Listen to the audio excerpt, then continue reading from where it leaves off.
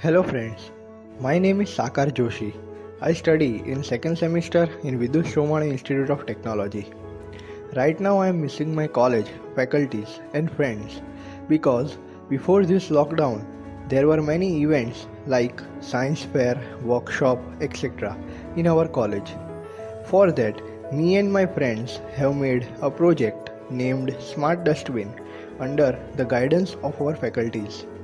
In this project, we have made a dustbin which alerts us when it gets completely filled and still we are working on making of autonomous dustbin. So for this project our college has provided a Bolt IoT kit and many other useful material like Arduino and sensors.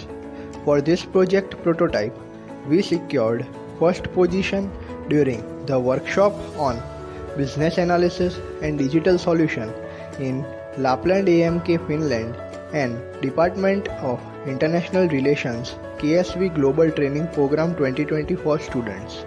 So, I hope this situation of COVID 19 gets under control quickly and we can ba- get back to our college and make many more projects.